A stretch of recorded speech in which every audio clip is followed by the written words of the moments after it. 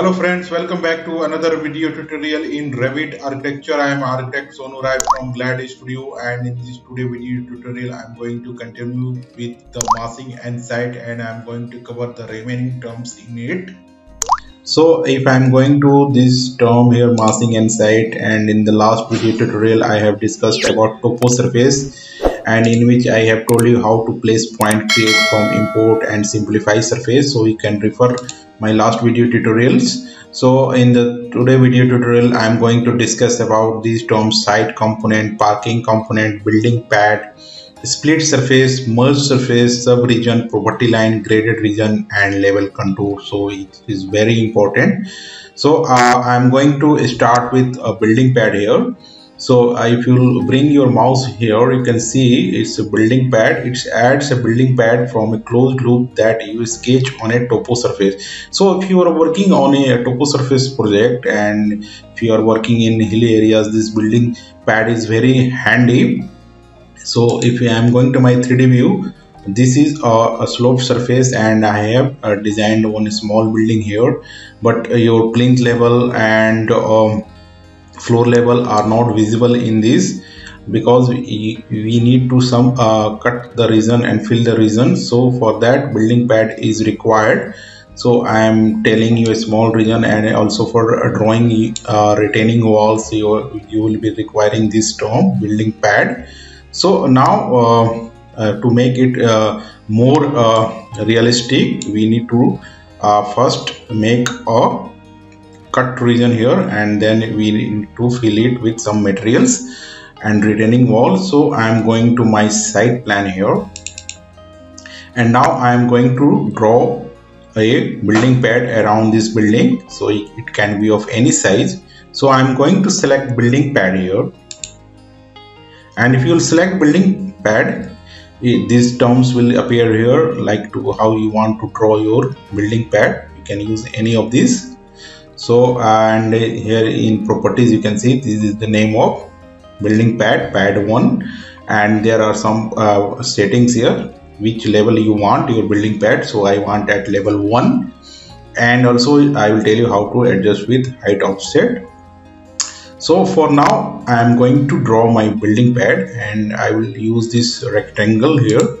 And i am going to draw around this site and it can be of any size. So I will take 80 by 100 feet. And I will click once here. And I will finish this. So now you can see this the cut region is created and this is our building pad. So better will understand in 3d view. So you can see this is the building pad which we have created. So now you can work in your hilly area uh, project in uh, Revit. So it is very very handy this building pad. And now you can adjust the height of building pad because we are not able to see now also the plinth level. So uh, I am going to select this building pad here. You can select and edit the heights. So I am going to this properties here and this building pad, pad is at level 1 so I am going to uh, reduce uh, the height to minus 2 feet and then we'll see what happens. So you can see now we are able to see our plinth level here.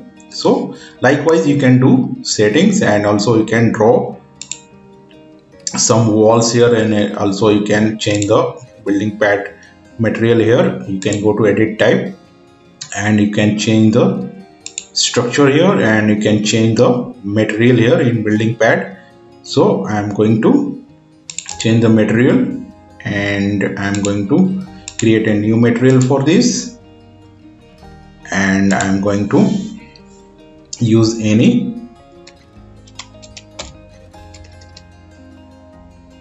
floor material.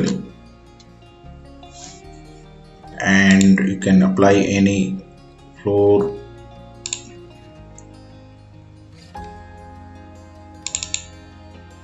I'm going to use this vinyl flooring. Anything you can apply. Okay. Apply. Okay. So likewise you can change the material.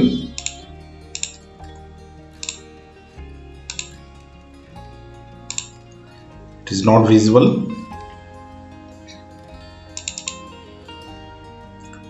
So we'll take another material here and I'm going to select tile.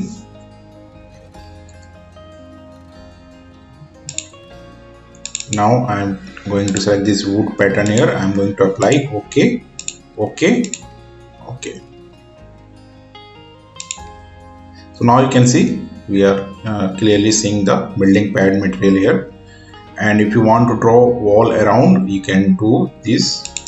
If you want to draw retaining wall we can draw a wall around this. So I'm going to my architecture wall and I'm going to wall architectural and you can use this generic masonry. So I will take for time being 5 feet retaining wall here and I will use this one finish face exterior and I will draw a wall around of 5 feet so likewise this is just to make you understand.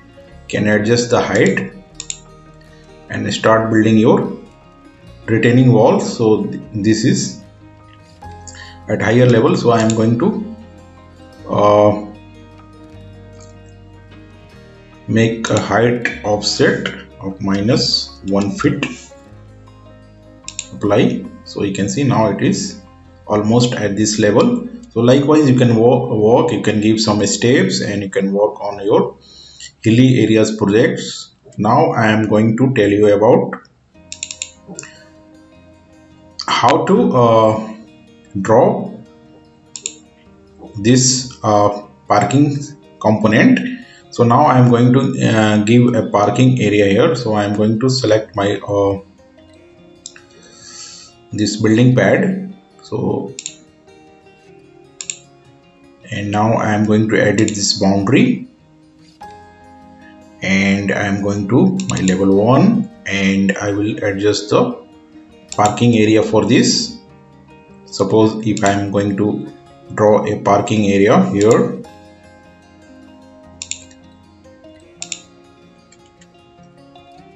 And I am going to trim this. I am going to finish this. And I am going to delete this wall for timing and now I am going to my 3d view and you can see this is the area for parking. Now I am going to my site here and I'm going to use this parking component and you can start placing uh, parking dimensions here. So you can also adjust this 90 degree 60 degree or 70 degree 80 degree parking and can, can also make some settings. So I'm going to place parking like this.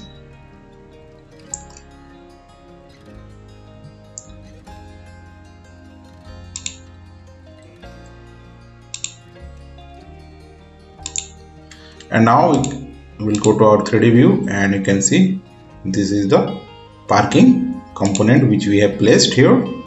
And also you can do some settings. So if you want 45 degree parking you can enter 45 degree uh, angle here and also you can adjust the length of parking length. Suppose I want 20 feet here and parking width I want 12 feet and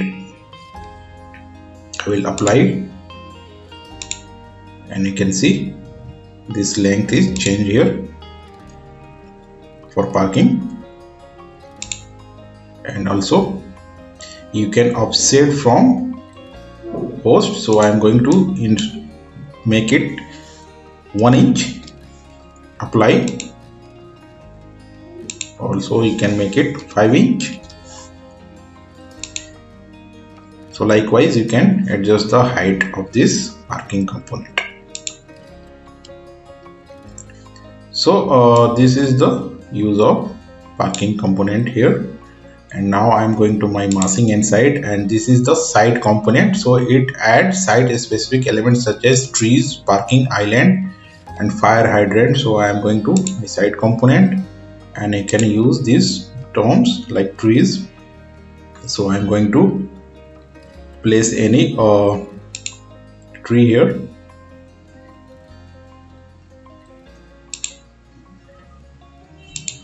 And we'll go to 3d view we are in 3d view only you can see this is the tree which we have placed now. So likewise you can place trees around your site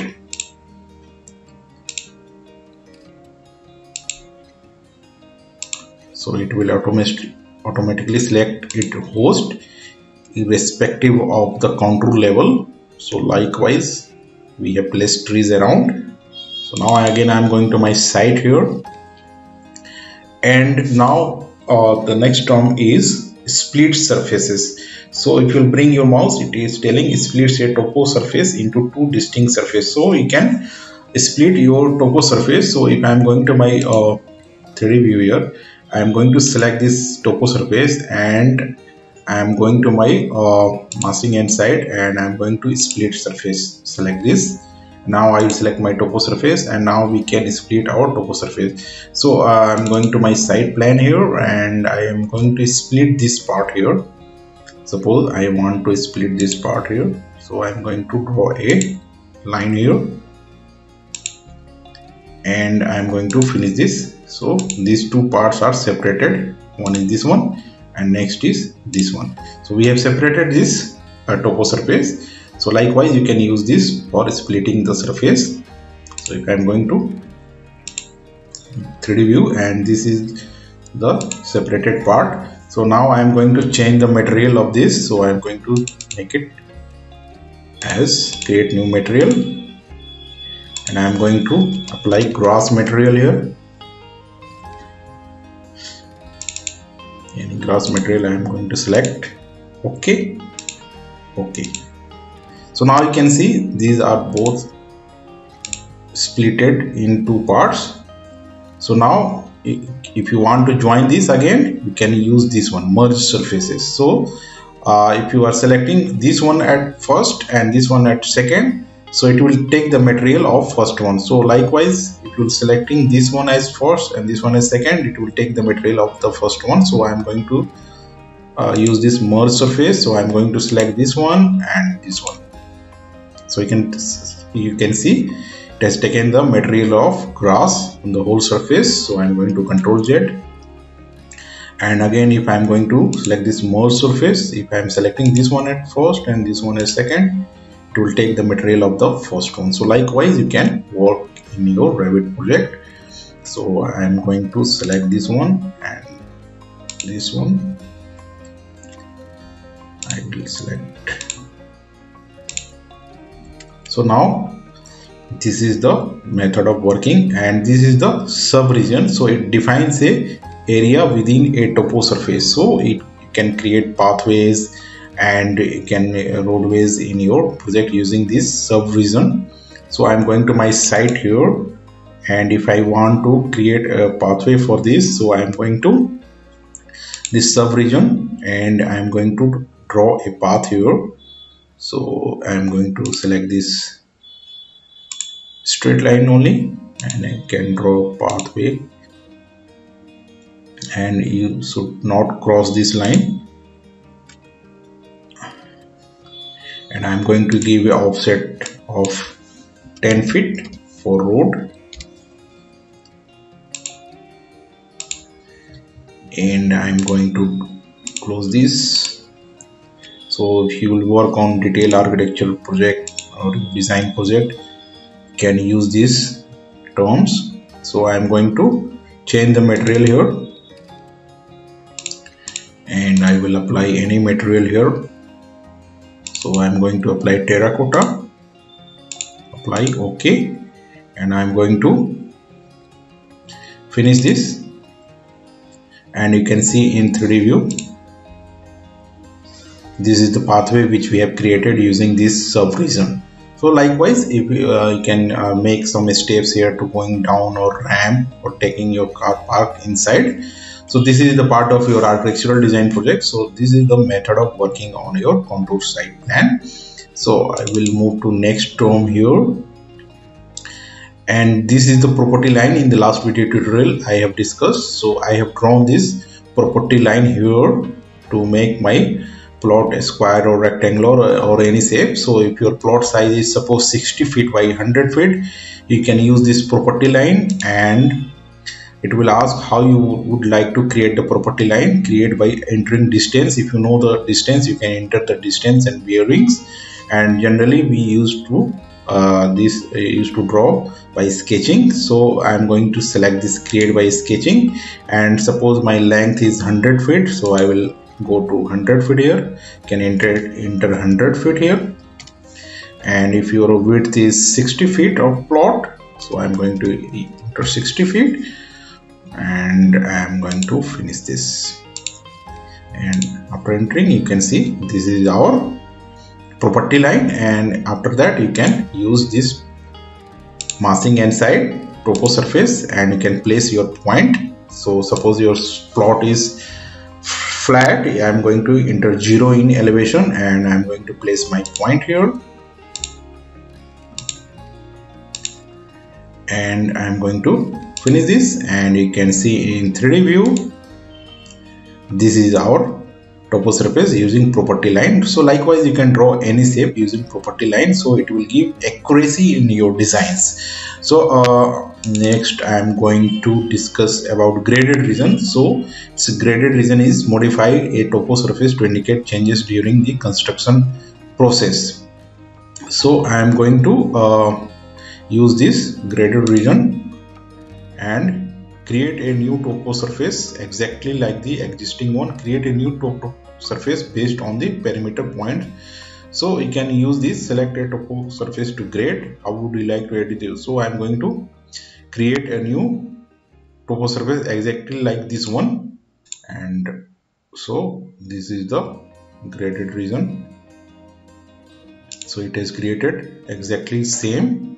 So uh, this we can use sometimes.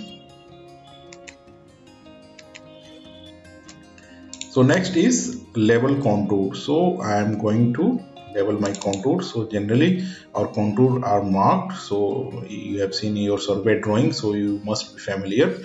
So now i am going to use this label contour. So it is used to display the elevation of contour line. So you must be familiar with this if you have used survey drawings in your project. So it is used to uh, mark the elevation of the contour line. So i am going to use this label contour and this is the our text size here 1 by 16 inch Arial contour level. So I'm going to increase this. So I'm going to make it this as 1 by 4 inches. So I'm going to apply. You can adjust accordingly. And you can see already it is marked here. So I will show you how you can do.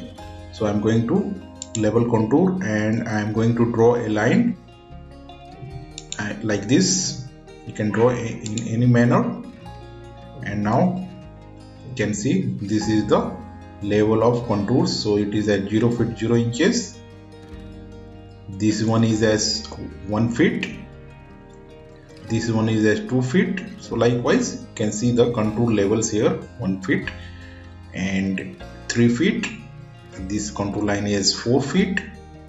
And this one is also at the same level.